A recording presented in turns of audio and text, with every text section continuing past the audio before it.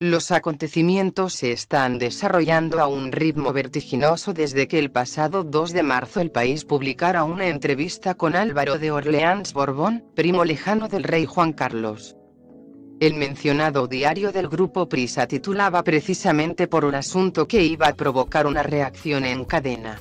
Pagué muchos vuelos privados del rey emérito, pero no soy su testaferro unas cantidades que serían como el chocolate del loro en comparación con los 65 millones que Diario afirma que el monarca habría donado a la princesa y a su hijo en 2012, pero vayamos por partes, en el cuerpo de la mencionada entrevista, en la que estuvo escoltado en Ginebra por sus abogados, Philippe Cotier y Jean-Marc Carnicé, posiblemente para matizar sus palabras si hubiera sido necesario, que no parece que fuera el caso, el periodista José María Irujo le pregunta si en ellos estuvo acompañado por Corina Zusa y Genstein, y la respuesta es afirmativa. En varias ocasiones, manifiesta, al mismo tiempo que admite que hubo un segundo y un tercero, un cuarto. Empezamos en 2007 y terminó en 2018. Al final hubo muchos vuelos. El rey Juan Carlos I saluda a Corina Zusa y Wittgenstein. F. Pues bien, al hacernos eco de esta información, se puso en contacto con Vanitatis el abogado de Corina, Robin Radmeyer, quien quería matizar las palabras de Álvaro, al delimitar los vuelos privados en los que habría estado su clienta un número muy limitado de ocasiones. Poco después era ella misma quien nos hacía llegar el siguiente mensaje. El rey emérito insistió en que yo volara en aviones privados por discreción y yo cumplí. Después del fin de la relación y, para mi sorpresa, me pidieron que reembolsara los vuelos privados que me habían ordenado tomar. Sorprendentemente, me engañaron para que le reembolsara el dinero a su primo. Y Corina lanzaba un aviso a navegantes. Mi equipo legal ya ha solicitado todas las listas de pasajeros, pero hasta la fecha no hemos recibido nada, lo que genera preguntas muy serias. El engaño será expuesto.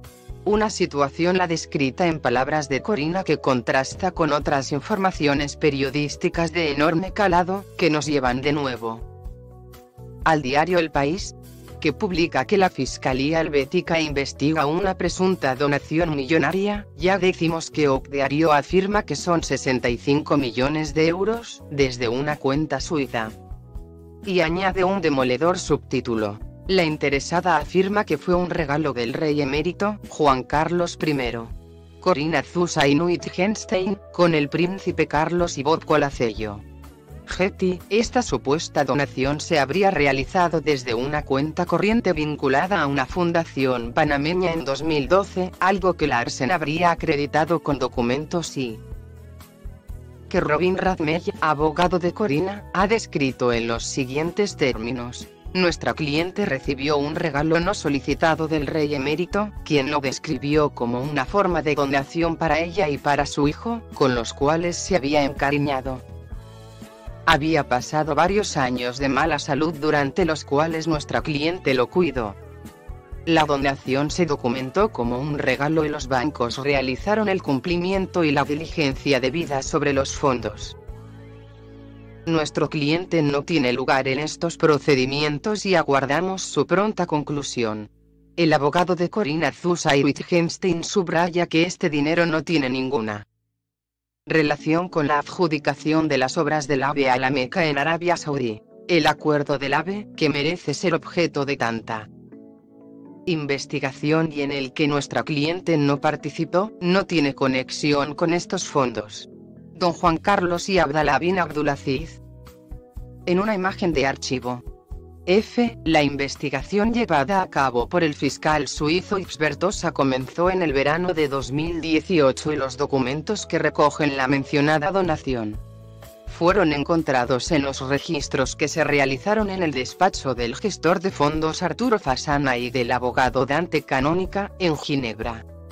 El mencionado fiscal llamó a declarar el 19 de diciembre como investigados a ambos, a la princesa Corina y a representantes de la banca Mirabaud.